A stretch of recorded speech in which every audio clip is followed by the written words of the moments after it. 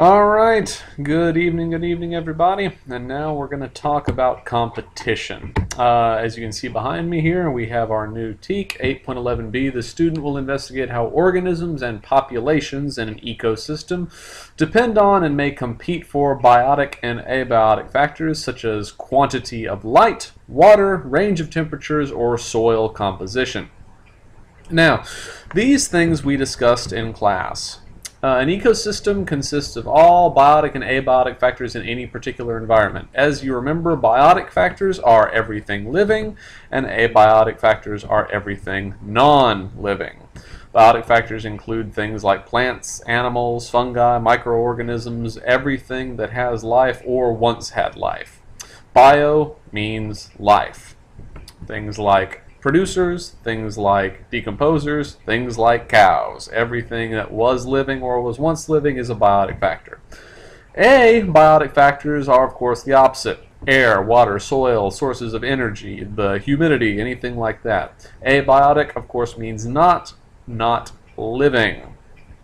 Uh, for example, uh, energy, the sun, stones, dirt, all that stuff which was never living. All right, that we covered in class. Here's the new stuff. The definitions for habitat and niches. Uh, some people pronounce it niches. I prefer niches. Um, a habitat is any environment where a population or a species regularly lives. Uh, you don't often find polar bears outside of the Arctic, and you don't often find the desert kangaroo rat outside of the desert. It deals with its physical and biotic environment. What kind of vegetation will you find there? What kind of tree coverage will you find there? What kind of temperature will you find there? All that good stuff. And, and uh, you usually find animals in the same basic kind of habitat, or any organism really. And habitats can be divided into zones. You can even have microhabitats. Uh, microhabitats meaning like if you have like layers of soil, it's like what kind of bugs live in the top soil versus what kind of worms live in the lower soil.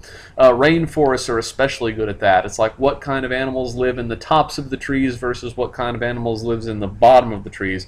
And though the habitat may be one rainforest, you still get loads and loads of what's called microhabitats. And I'm talking like even down to like little square inches of plants. It's like what kind of bugs live right here. And behind me you have a whole lot of examples of microhabitats. Now a niche is the role that a species plays in its community. What kind of space does it occupy? What does it eat? What does it need to reproduce?